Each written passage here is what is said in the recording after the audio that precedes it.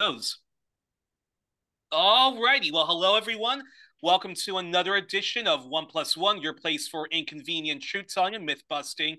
And on the program, we are rejoined by Berneta L. Haynes, who is a uh, consumer protection lawyer, environmental lawyer. By day and by night, she is a wonderful indie sci fi fantasy uh, author. And we're here to talk about, uh, well, all sorts of things depending how much time we have. So first off, Berneta, thanks uh, thanks so much for coming back on the program. Thanks for having me on again. It's been a while. Yes, and it's always an honor to uh, and, and it's always an honor to have you on. And apologies to our audience who usually love it when it's when, when it's you right next to L Jones, but wasn't able to to get that. But anywho, there's always always another time, and we and we still love you. Uh, you know, as a you know as a one on one guest on One Plus mm-hmm. One. So. so Berneta, the first question I wanted to uh, uh, talk to you is uh, now now correct me if I'm wrong, but the uh, Supreme Court of the United States didn't they overturn affirmative action? Mm-hmm. That's right. That was oh. last summer, I believe. Oh mm-hmm. yes, they were on a uh, they were on a uh, a massacre rule that mm-hmm. you know, mm-hmm. the Supreme Court and mm-hmm. and actually and and actually that's it's and, and and that's actually the first question I wanted to ask you, which is explain to to our international audience uh, who, who who don't know what affirmative action is, and and, and yeah, so yes, explain to our audience what what affirmative action is. Uh, the Supreme Court repealing it, and then I'll get to my uh, to, to my follow up question on the on affirmative action. So go right ahead. Yeah, so you know, affirmative action is essentially uh, um, legislation that was passed basically on the heels of the civil rights movement that uh, requires uh, employers, um, educational systems, and so forth to account for uh, different diversity factors in hiring and acceptance and so forth. Not necessarily preference, um, but to account for uh, levels of diversity and to meet certain standards of diversity.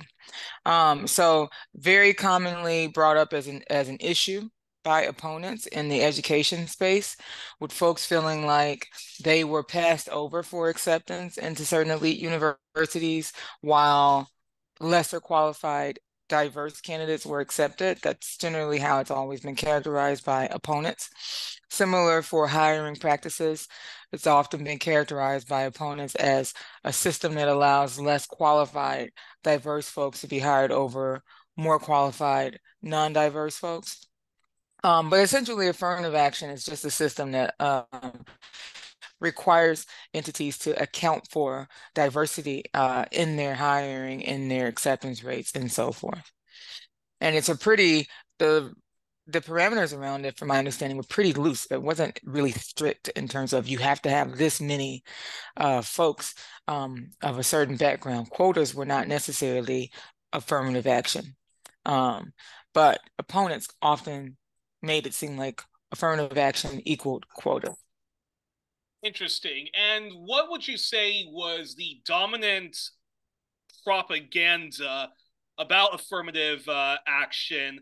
Because uh, and and and and would you say that that that that that propaganda, the the anti-affirmative action uh, propaganda, would you do you think that that that that also impacted a lot of left-leaning people and even well-meaning liberal-minded folks and what i mean by that is you know because you're already saying that uh and you know let's not be around the bush you had lots of white people complaining that they got uh-huh. passed over for a job that they were that they that they were more than qualified and it was given to a less deserving women often less deserving women of uh, color and so forth, and uh, and that whole issue of positive discrimination and and and I think a lot of and I think because there was such a because there was such a groundswell of this anti-affirmative action messaging coming from you know uh, you know coming from the right wing coming from you know the racists and so forth that impacted a lot of people who actually should have defended affirmative action. Yes they could they they, they, they uh, you know more than welcome to always argue for a much better policy but would you say that a lot of the anti-affirmative action propaganda even infected people who should have been defending affirmative action rather than conceding to the to, to the reactionary right wing you know what? Yeah, that's true. That uh, there there is something wrong with affirmative action. There is something wrong with positive discrimination. Well, not only were some of the people who should have been defending affirmative action ceding arguments to the right, many of them were allowing themselves to be used as puppets of the right wing uh, uh, crusade against against affirmative action. Namely, uh, well, I'll start with a couple of them demographics that seem to be the loudest voices besides white men against affirmative action. Let's start with white women. They were they have they have always been the loudest voices against affirmative action. Um, going back to like the Fisher v. Texas case that was I think 2010 or something like that, 2011. Um, despite them being the biggest beneficiaries of affirmative action, white women, the biggest beneficiaries of a policy that was really ultimately meant um, to be beneficial for Black Americans, right? Everybody who is not a white male, but especially Black Americans. White women, biggest opponents, biggest beneficiaries. Asian community is the second most dominant voice against affirmative action. Um, and we saw that with the Supreme Court case that eventually um, allowed for the dismantling of affirmative action. It's a fascinating thing because these same groups a lot of them would not be where they are without affirmative action. I'm not sure how many white women realize that they would not be filling the ranks of various law firms and universities and so forth were it not for affirmative action, which was fought for by Black folks in particular. I don't understand how uh, a significant portion of the Asian American community seems to fail to understand that they themselves would not be filling the ranks of various uh, firms and so forth, and elite universities were not for affirmative action. But for some reason, these two groups seem to be the most eager to allow themselves to be used as puppets in the fight against affirmative action. And unfortunately, they were ultimately successful. Unbelievable. And uh, now, uh, when you, you know when when doing some research, you know about yourself and uh, you, you know about you, uh, I I actually read an article that you that you did long time ago where you actually mm-hmm. were defending affirmative action. And talk about that uh, and yeah uh, talk about that article because uh because it's also you know very you know autobiographical. And yeah talk to us about that one defending affirmative action. Yeah i think you're talking about the article that i wrote uh, for inside higher education. And i inside higher education i believe it was 2012 ish that I wrote that article. I was in my last year of law school, I know that much. And um and in that article, I talked about how affirmative action helped me and benefited me because I am not ashamed to acknowledge that I did not come from a background of privilege where it was easy for me to access um, university and and so forth. And so I know that affirmative action was instrumental. I got scholarships based on diversity um, to undergrad as well as to grad school and law school. And so in that article, I talked about how as a freshman, I was often the only person in my uh, classes who was Black.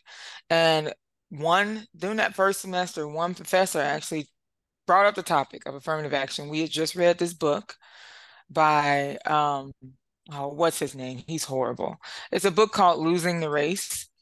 Um, it's oh. by uh, ugh, what John McWhorter. He's horrible. Um, and I, I keep me on record saying that he's horrible. Wait, um, isn't, but isn't he? Isn't he a black commentator? Very popular. Oh yeah, he is. But he's generally he generally pairs right wing talking points. And this book, Losing the Race, was really incendiary in terms of being anti um, affirmative action and anti just like uh understanding the role of uh racial discrimination and test score differences and, test score, you know, disparities and so forth. It was it was just a really annoying book, but it got the professor on the topic of affirmative action. And I just remember how very, how vehemently the white students in class, and particularly the white women students in class, just whined and complained about the fact that there were some students of color who had gotten in just because they were black or whatever, and they probably got scholarships. And I come from a poor family too, and I didn't get scholarships just because I'm a certain color. All of these notions that they had that we were literally there on a free ride. I may have gotten some scholarships, but I did not get into undergrad and on a free ride per se. And even if I did, I cannot help it if you and your white family have somehow not figured out how to utilize your white privilege to your benefit. That sounds like a personal fucking problem to me. Um, but anyway, it was a very annoying moment in class, and it was one of those things that made me realize how I was probably being perceived by most of these students. I could care less because at the end of the day, I knew who I was and I knew what I wanted to achieve through my education, and I didn't really care what anybody else thought about me in that respect. Um, but that article that you're mentioning, I talk about that, and I talk about just like the particular background that I come from that really was going to require that I got some sort of scholarships through uh, affirmative action type policies that would allow me to, you know, actually be mobile instead of just being stuck in my working class background, be able to actually shift from working class to middle class and so forth. Affirmative action was necessary for that kind of movement, class movement. Um, but I'll stop there because you might have more questions about that article. Well, uh, but, well, for for me, what's for for me, what when this when when the Supreme Court when when, this issue was brought up to, to, to the Supreme Court and the Supreme mm-hmm. Court overturned it, do, do you th- do you think that a lot of the uh, you know the left in the U.S., whether it's the black left, the Latinx left, uh, uh, feminist groups were, were a lot of them vocal in defending affirmative action or did they completely drop the ball on this due to so much of the propaganda that she laid out about affirmative action that that that at some mm-hmm. point you know that that at some point you know the left sometimes instead of just like tackling an issue head on mm-hmm. and, and and countering all the bs sometimes the left just just goes oh my gosh there's I can't argue with uh, with, with this avalanche of right wing yeah, yeah, talking yeah. points. I so I'm just gonna like put my head down. Hopefully it goes away, and uh, I don't mm. know. Try to try to mobilize a few people, but I think when we talk about the left and so forth, we have to talk about the white left and the black left, and they're not often overlapping. Yeah. Um, there are a lot of things that the white left will focus on that is just bogus to a lot of folks who are black leftists. Like we're not trying to ally with white supremacists who may have come to Jesus on on a particular issue, right? We're not trying to do that, right? And they always like to cite Fred Hampton, mistakenly misunderstanding the way that he approached allying with groups like that. Um, he insisted that white folks work with groups like that. He didn't insist that black folks work with people like that. That's the difference. Um, so I think it's very important to stay on subject here that we talk about white left versus black left. I saw plenty of um, of tweets and social media posts um, from people who were black leftists defending affirmative action, um, emphasizing the importance of affirmative action for not just black folks, but for queer people, for the Asian American community, Latino, Hispanic folks, and for white women as well. Right, emphasizing the essential role it has played. I don't remember seeing the same level of interest and engagement on the issue from white leftists or folks that I identified as white leftists. Even if they maybe posted something about it here and there, it wasn't like they didn't really go on and on about it the way black leftists seem to. Um, So I would that would be my answer to that question. It depends on which what leftist you're talking about. Are you talking about the black side of leftism, or are we talking about the more white um, side of leftism? Because they usually are very split on a lot of different issues, um, especially to touch your racial issues. Yeah, no, and uh, and and and and uh, in fact, even even even sometimes when we do agree with you know white leftists on mobilizing against uh, a particular war should be you know it should be all wars. There's always uh-huh. yeah there there's there's there's problems and we've and we've uh-huh. and we've, we've even dealt with it on the program before mm-hmm. and it's and it's and and and and it's uh you know and it's very frustrating and that's a perfect segue going back to what you were saying, which is white feminists and, and, and you know and, Asian, and, and, and, Asian American groups uh-huh. benefited from affirmative action, and yet they were vocal opponents and were used by the far right to over- I would not say that white feminists were vocal opponents of affirmative action. White women, for sure. But white feminists, I mean, I haven't, I honestly don't follow uh, many at all, especially when I was active on Twitter. But the ones that I did follow, even if they didn't post much about affirmative action, I don't remember seeing a bunch of like anti-affirmative action content from white feminists. Um, okay. what I saw was just generally like white women, especially along like the folks who are moderate and conservatives, those white women, very vocally against it, right? But white feminists, I can they have they have their faults. White feminists, they have a lot of faults. Um, but I did not see among their faults railing against affirmative action. Um, there seemed to be at least a recognition here that uh, hey, this is helpful. Uh, so um, but but again, it's another it's an it's a I think it's very important when we're talking about who uh, who was supportive of affirmative action, who really tried to fight for it, and who didn't. That we recognize the importance of the racial dy- dynamics at play, and that we also recognize the importance of some of the class dynamics at play as well.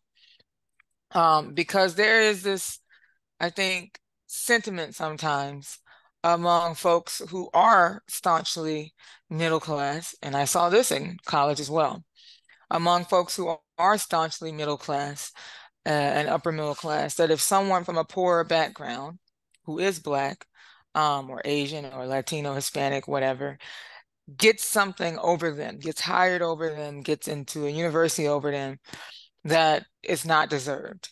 And it's well, it's not like my middle class family can just afford to pay for this university flat out. I deserve a scholarship too. Why do why I have to be so why do I have to be so poor to get that scholarship? it's an interesting um, hostility that they have because it's a well founded hostility in a lot of ways. What they're really mad about is means testing, is what they're really mad about.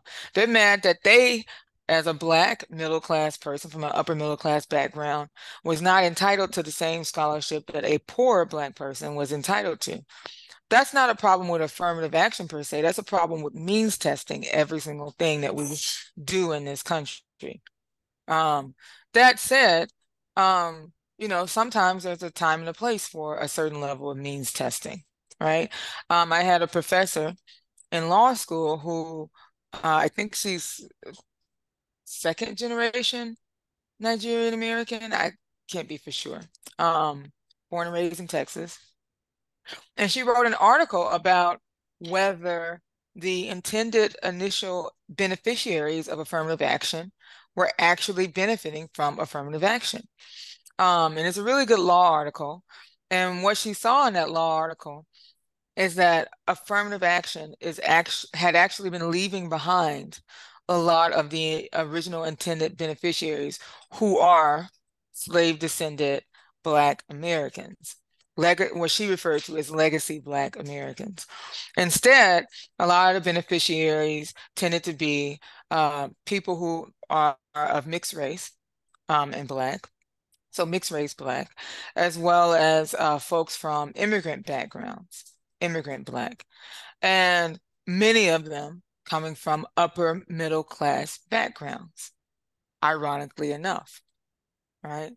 Um, and so in her assessment, a certain amount of means testing actually needed to be put in place to make sure that the uh, original intended beneficiaries of affirmative action are actually benefiting from it. How can we put certain kinds of mechanisms in place to ensure that some of the Black folks that we're accepting into Harvard or wherever based on affirmative action are actually from slave descended enslaved the, the background of enslaved you know enslaved people. How can we make sure that there's a amount of there's a decent amount of class diversity also represented among the black folks that we're admitting right? Because otherwise what she was seeing is that it was turning out to be this homogenous sort of demo of upper middle class folks who were from immigrant backgrounds and mixed race backgrounds rather than from um, an enslaved history right? Um, so I understand why some people that I that I've come across and that I went to college with felt like, well, you know, why am I not getting it? I'm also black and I come from this, that, and the other. Um, and again, I will say that what they were what they were mad about was means testing and maybe feeling like the means testing wasn't done well enough or in the right way.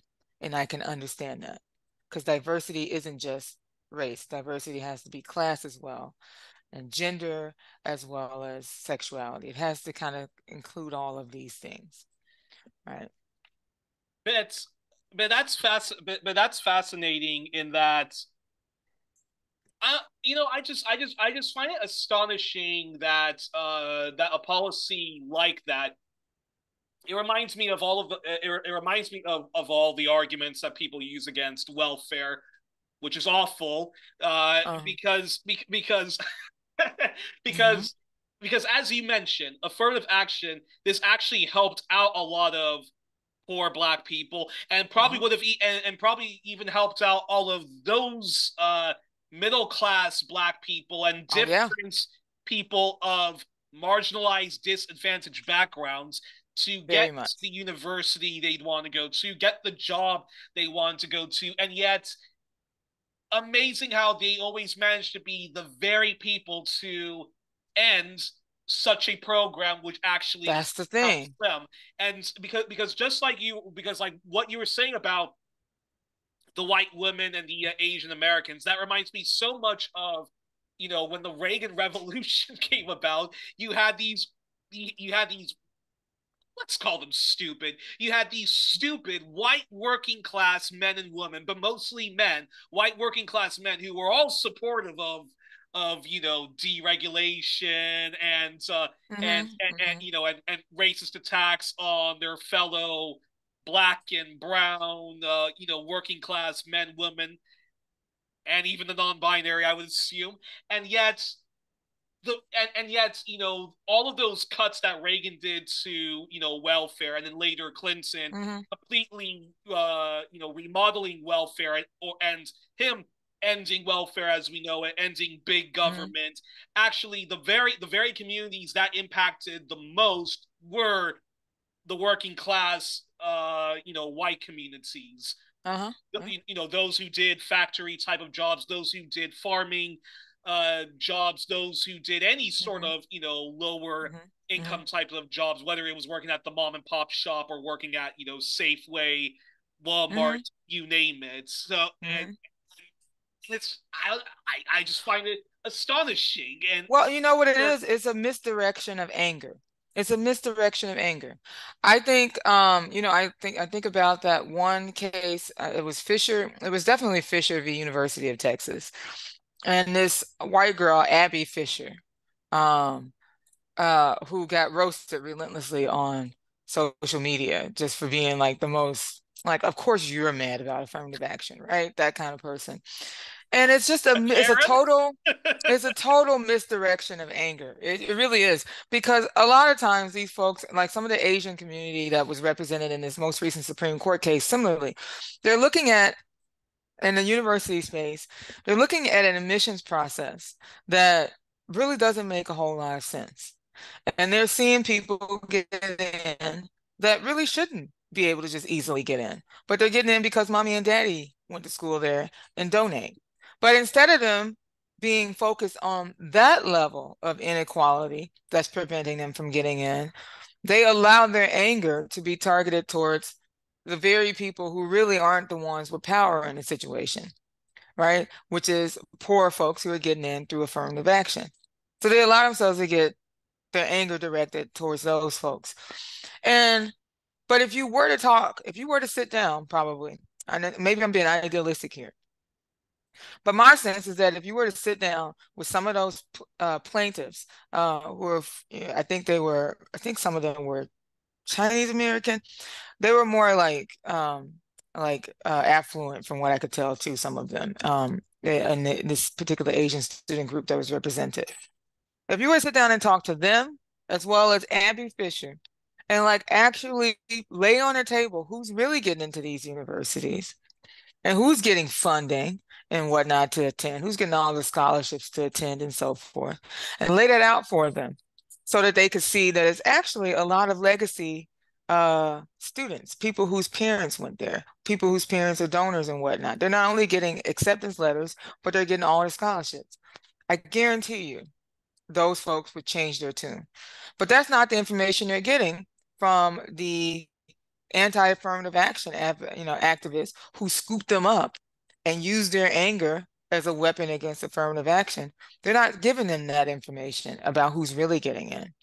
So to me it's just one of these situations where you have a lot of folks who are very nefarious and they have a lot of money to find people who've been harmed by a system that really is at its core unjust and it's not affirmative action that's part of the injustice. But it's part of this is, is a system that is generally unjust.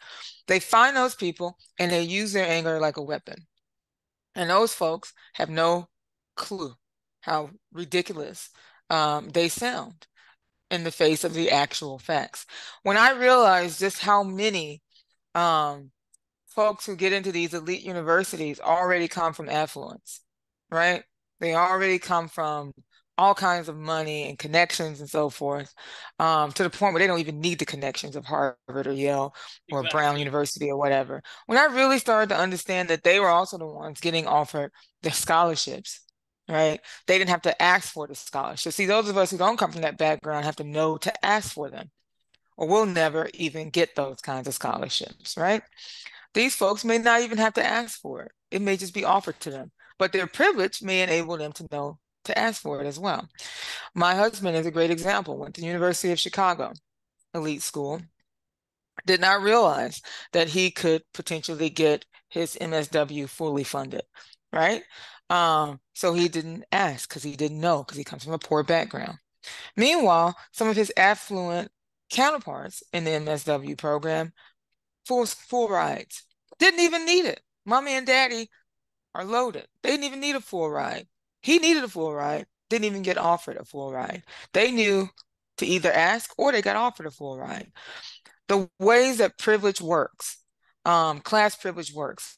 That's what makes me so mad when I look at these folks who allow themselves to be used as a weapon against affirmative action. A lot of them are not as privileged as they think they are, and they are essentially um, refusing, refusing to see or failing to see that the real danger here is that they are advocating for the removal of a program, affirmative action, that will essentially cement um, uh, an elite group in this country, right? That will essentially make access to these institutions only available to the elite, right? Not even available to them anymore, only available to the elite. I just don't understand how they don't recognize the system, you know, what they're creating. I don't understand how they don't recognize it. Um, but at the same time, I, I do really think that if you sit some of those people down, you give them the facts, they'll change their tune. They'll be like, oh, it's not affirmative action that's the problem. But, but, actually. But but it's interesting because uh be, because uh I mean one of these but I mean it's it's it's interesting because maybe the Asian Americans who were involved in uh you, you know who were who were involved in this case now you now you say that that that that they were from an affluent background right No, some of it seemed like some of them, from what I read about some of them, it seemed like some of them came from a slightly affluent background. And when I say that, I mean like middle class, you know, and Okay. maybe upper middle class. I wasn't seeing any of anything about some of those students being like from super rich backgrounds. It seemed like they were from middle class and upper middle class. These were the folks who like they did everything parents told them to do. They got like the graded, they got the best grades, they did all these extracurriculars and all this kind of stuff. The stuff that your middle class parents and upper middle class parents tell you to do because you need to do it because they can't just pay your way through everything, right? They did all that and still didn't get in because some less qualified affirmative action uh, person got in, right?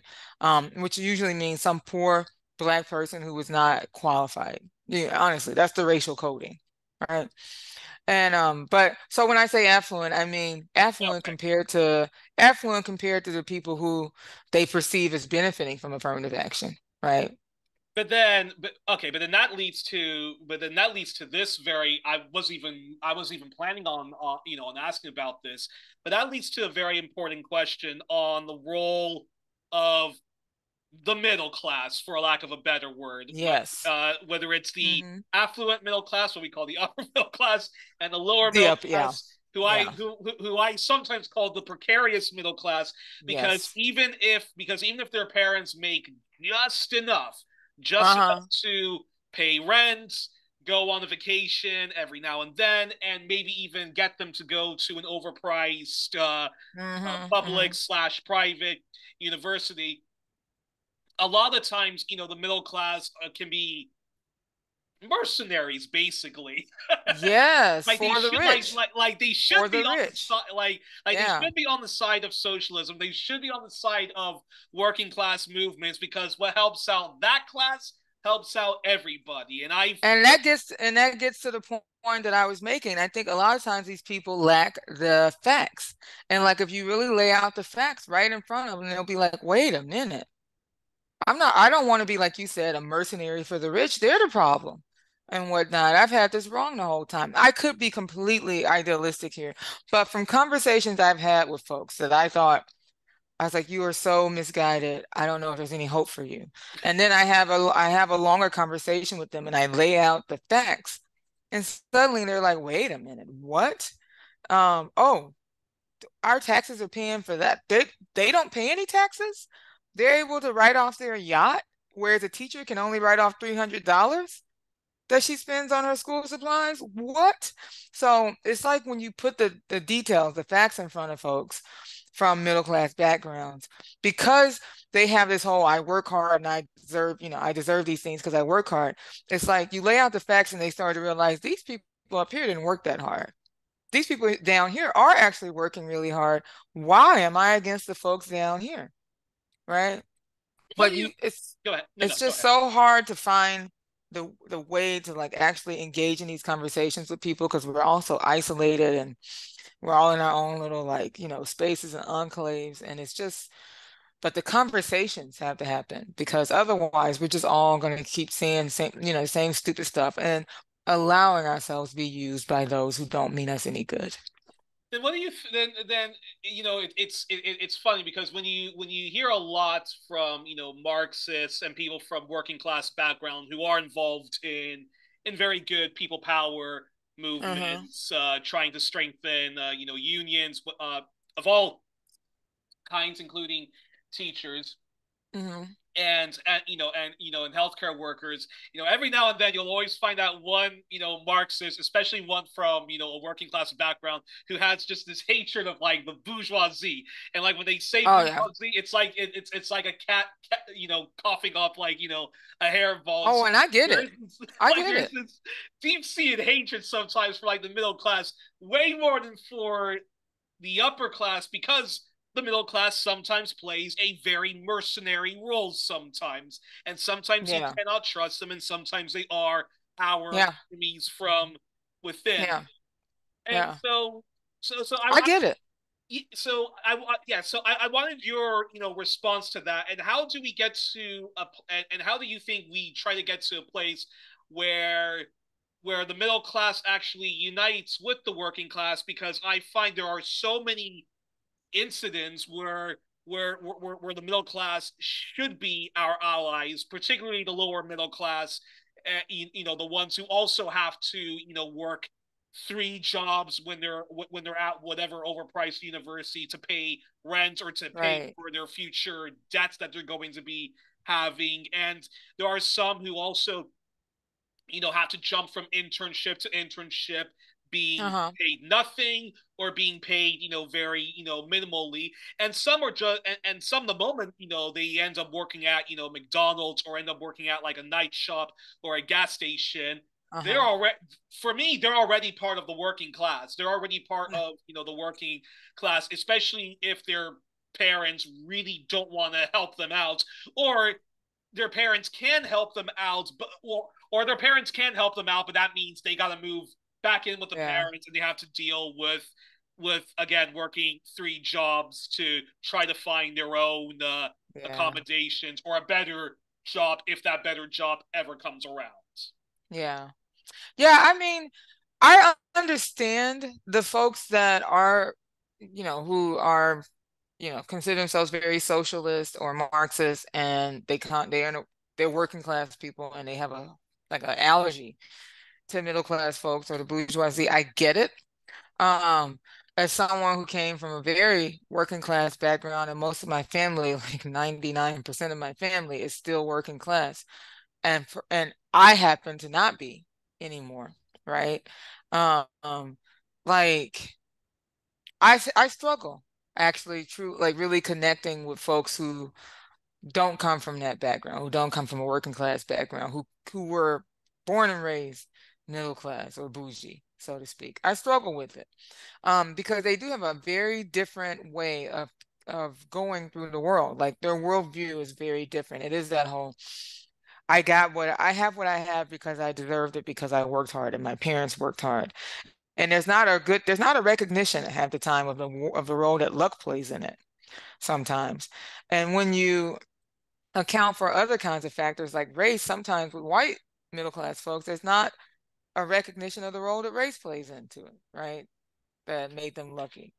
But I also think that we're all very much in a very precarious situation in the United States. If you're if you're not rich, things are very precarious here, and um, most people, I mean, and this is true for middle class and upper middle class as well, are one semi-major medical emergency away from bankruptcy in this country.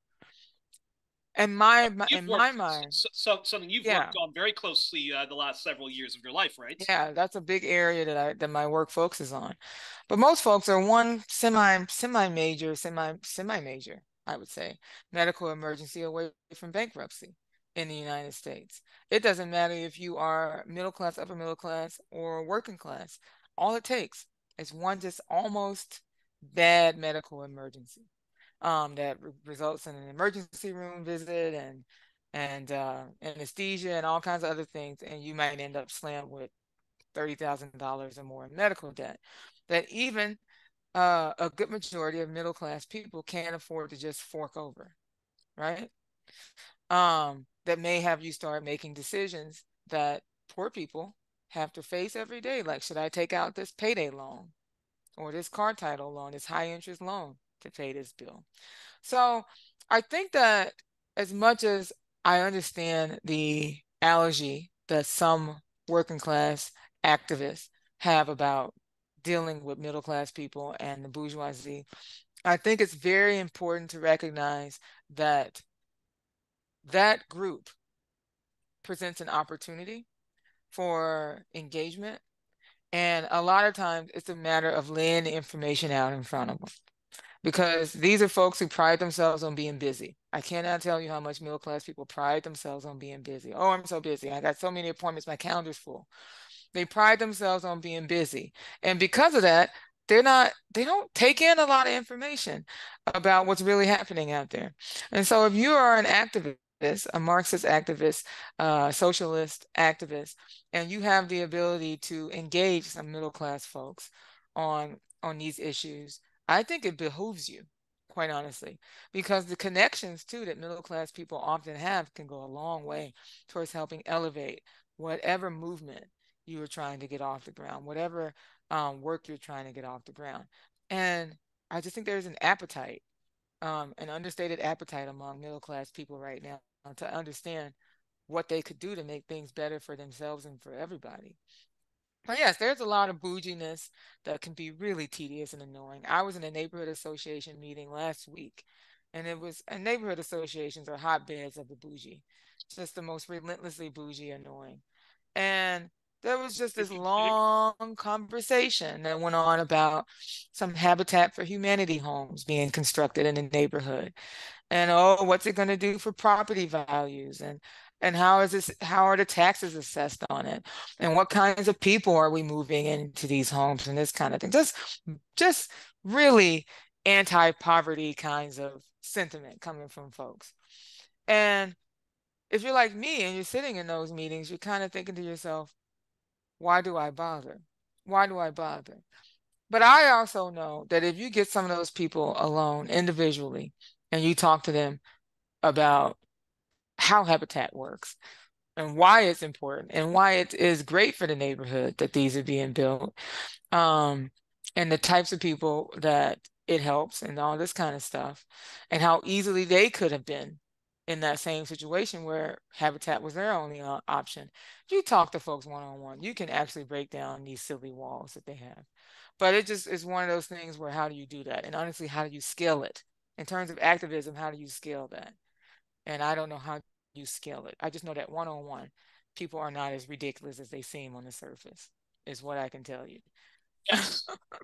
on top of on, on top of the fact that uh yeah. y- you know that that the way the propaganda system the way the capitalist propaganda system is you know not only uh it, it not only is trying to target the middle class the people who make just enough that they mm-hmm. that you know that they're comfortable uh with their lives Mm-hmm. But but yeah, but, but again, those are but but but again, the system does not work out you know for like you know the middle class certainly doesn't doesn't work out for the working class and those people who are who as you mentioned are just one paycheck away from bankruptcy the moment uh heaven forbid they get into a car accident or they have a health emergency or somebody or, or a loved one of theirs has you know the same thing. Mm-hmm. they're very quickly you know they very quickly face a civilizational downgrade and they're and they're yeah. you know, poor overnight working, working and they get that. overnight, so. and they get that. And i'll tell you i'll tell you no quicker way to reach middle class people than to get on the topic of medical bills and medical debt in the united states. People have no idea what's actually possible once you end up in medical debt. And once you once you make it clear to them that yeah you could be arrested for medical debt.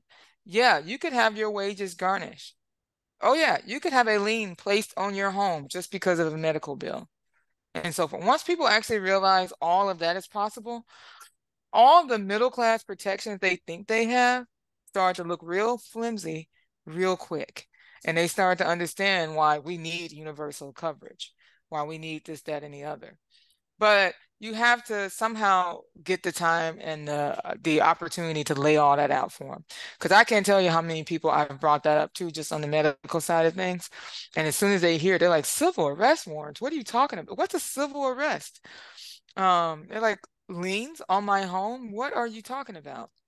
Nobody, no middle class person wants to feel like they've done everything right in life. They've saved, they've invested, they have a home that they own, all this good stuff. And then they just happen to be like a regular human and have a stroke. And all of a sudden they lose their home. All of a sudden their wages are garnished indefinitely, or they are facing a couple of nights in jail or more.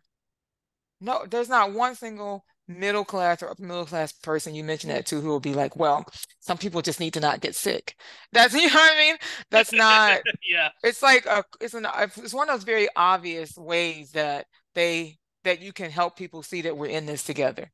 That like literally if you're not rich we're in it together right? It's one of those very obvious ways. Not every issue is that obvious though. Um, um some issues it takes a little bit more to make people understand if they're not poor how it affects them.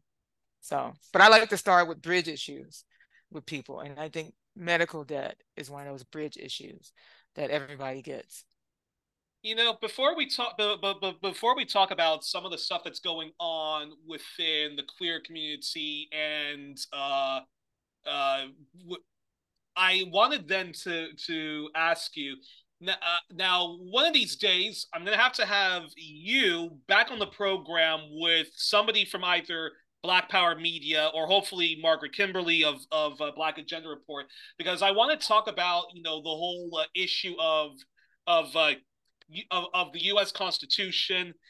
Mm-hmm. Yeah, you know, you know of you know of the U.S. Constitution and so forth, and yeah. uh, and so do you think that uh, are you of the opinion that we need a whole a whole new Constitution of the United States, or or the or the U.S. Constitution, however flawed it is, there still isn't a lot of good in it, and we and and we just need to reform it. Reboot the whole thing. That's my opinion. I came to that conclusion in my last year of law school when I was in a gender and I think it was gender and race class. Um, and we were tasked with reading the constitutions of some other countries. And one of the, and I like literally every other country's constitution we read was better than ours from the ground up, right? Um, I read the Iranian constitution. It was great outside of some of the religiosity. It was great. There was a, if I remember right, there was a human, there was a right to housing embedded in that constitution, if I remember right. Um, I, what other one? I think there was Ecuador. One, one of the countries, and I think it was Ecuador, um, read that constitution. Um, several other countries' constitutions. And the one that I always uplift though is the South African Constitution. And one of the professor of that class was a had been consulted on that constitution actually so she had a lot to say about it because if you remember when south africa rebooted its constitution um, quite a few years after apartheid was overturned they rebooted their constitution it was like a decade or more um, they consulted experts from all around the world uh, in the in their redrafting of a new constitution, and it shows because if you look at the South African constitution, it feels like the kind of constitution that should exist in the 21st century, right? Um, that that's interesting. Just, just the language, just looking at their preamble, just the language. Um, so I think we just need a do-over. I think when you look at our constitution, it feels antiquated. I don't know why we keep trying to update it to make it work when really at a at a foundational level, it just wasn't meant to work for anyone who wasn't a white male landowner. It just simply wasn't meant to work for anyone who wasn't from that background. But we keep tweaking it, thinking we can make it better. And uh, instead of just recognizing it's a piece of paper, why can't we start over? It's a piece of paper. So many countries do this when they have like a huge sort of like movement to change things in their country one of the first things they'll do is rewrite the constitution i think chile tried to do it most recently. Um, so many other countries don't seem to look at their constitution as this unchangeable thing. They seem to recognize it as a living document that can be changed or even just thrown all the way out to start over from scratch you know? I think cuba recently made some changes to its constitution as well. Um, so I think we need to change our opinions about how we view that document and stop viewing it as this unchangeable thing or this thing that we have to always have and then just make some little edits here and there and recognize it's just a piece of paper. We can literally create another piece of paper. So final literally. question. So final question, because I know you have to go, unfortunately, right? but we can always continue this in the next uh, conversation. So then, so so so so, so the final question. Yes, we're gonna have to uh, talk about uh, the plight of the LGBTQIA plus community for another time. But then, final question uh, would be though, when it comes to the Constitution of the United States. So, would you say that that that that that that that those, particularly on the white left, who want to uh, and even uh, you know, and, and and even some on you know the other kinds of left, the black left, and so forth, who do want to reform the Constitution and get rid of you know uh, neo Keynesian racist laws like uh, like like the three strikes laws, repealing the Clinton crime bill. Uh-huh. Ending uh-huh. the drug war and approaching and, and approaching drug abuse and so forth as a mental health issue or public mm-hmm. health measure and, a, and, and from a racial social justice lens mm-hmm. pe- pe- people can do that no no problem but we're but but but the people power movements are selling themselves short by not actually advocating for why don't we have a whole makeover on the constitution yeah i think yeah I think they're I think the movements are absolutely selling themselves short by not recognizing that literally we could just start fresh with a new paper. I think this this this this like this help just being so hell bent on like keeping this document and just making some tweaks. It's very it's almost like a religious sentiment that people have around this document. Like we just, you know, the Bible's fine. We just need to, you know, reinterpret a few things for the 21st century. And it's like, well, maybe no actually maybe we don't need it anymore. Um i don't know maybe it's served its time maybe it was fine for its time and now we can move on. Um our constitution is is similar like it was i won't say it was fine for its time but you know it served its purpose at this point. It's time to move on. We're in the 21st century. The language is just simply antiquated. There's not even the word human isn't even in this document for goodness sake. It's just like it's a ridiculous document to continually hold ourselves by, especially when we have so many examples of other countries with younger constitutions that we could easily lift from. We don't have to even start, we don't even have to like make this all up. We don't have to reinvent the wheel or anything. We can literally lift straight from other constitutions that are newer than ours and that were written with with diversity in mind and with current uh, worldviews in mind around housing and all this kind of stuff. Um, I just don't know why we think we can't just burn the thing and start fresh. I don't get it. It's it befuddles me. Well, unfortunately, we're going to have to end it there. But uh, but but this is a good. Uh, but yeah, but this de- this is definitely a conversation that we definitely are going to revisit, especially if, heaven forbid, Pumpkinhead uh, has his comeback and and and, and, marches, and marches into the White. House. Although I have a feeling with this current Supreme Court's don't we don't even need to worry about like you know some far right Republican. I think the Supreme Court is already doing a lot already. of damage mm. already by itself, and uh, and I mean, and that's the thing. We don't want these people redoing doing another constitution. We need a whole new Congress if we're going to redo the Constitution. But uh, that's a whole other conversation. Exactly, so. and uh, and the Democrats, uh, yeah, and, and, the, and the Democrats are also part of the problem. But yes. you're joined on this edition of One Plus One with Berneta L. Haynes, who is a fantastic consumer lawyer, environmental lawyer, and people power lawyer by day, and a, and an independent sci-fi fantasy author by night. I'm going to make sure that people link to uh, to where they can check out Berneta's work. And if you're a, if you're a writer, if you're a struggling if you're a struggling writer and you're having writer's block, Berneta has a group that actually helps out, uh, you know, writers uh, through all of that. So, Berneta, thank you so much for joining us, and I look forward to uh, getting you back on the program whenever we can. All right. Yes, thank you for having me. I look forward to the next talk. Always a pleasure.